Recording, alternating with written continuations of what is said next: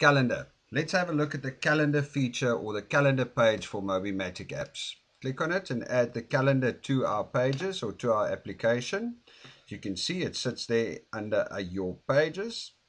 And now let's do the settings. First thing we can change is the icon.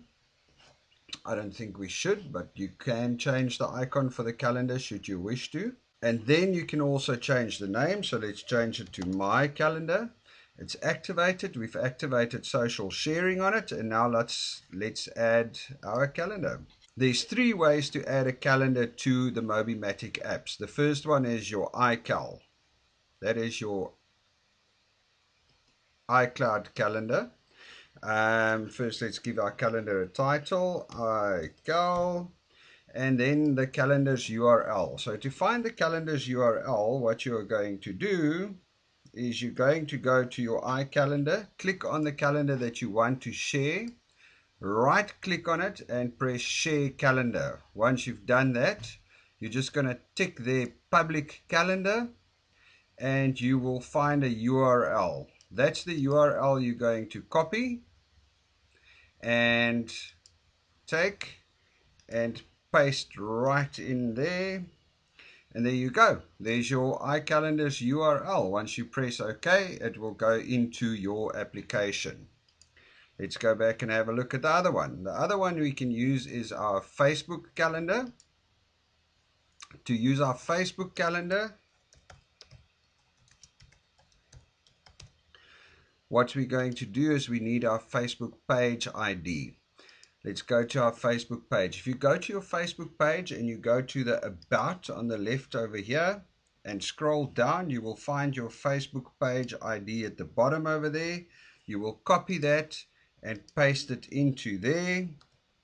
And that is your Facebook page ID. So when you press OK, your Facebook calendar will show up under My Calendar.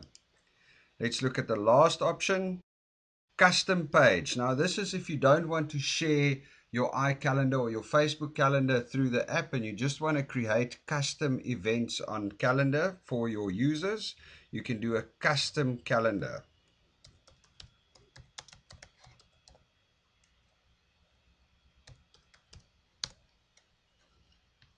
Okay, you've created your custom calendar, but obviously there's no event, so you have to create each event separately on its own. So just click on it, event, we're going to give our event a title, my event, a subtitle, big body. We're going to do a description.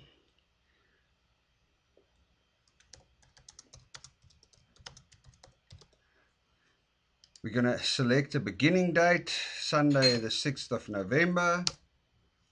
And we're going to select an end date, Monday the 7th of November we can put a time in 10:30 a.m. and we can put an address my place. We can put a location in there label it. It will be here.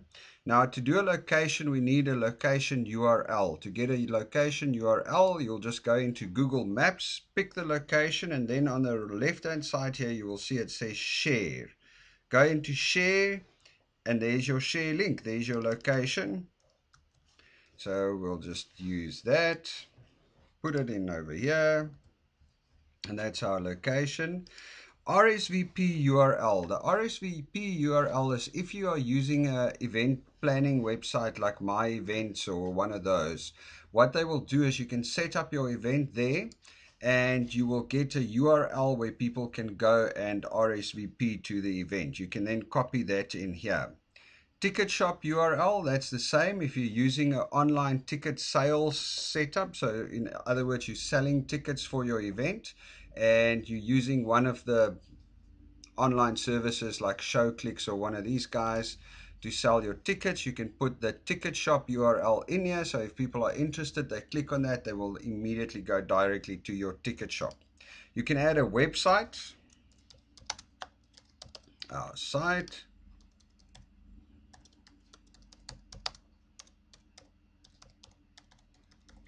where you put your URL in you can actually add more than one website.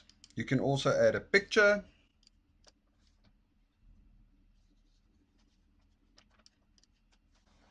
And there you go. You've got your event set up. Just press OK.